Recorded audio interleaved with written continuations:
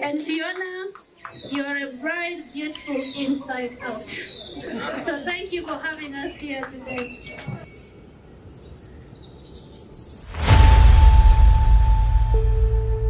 So for me to stand here to watch them walk down the aisle, to be with a very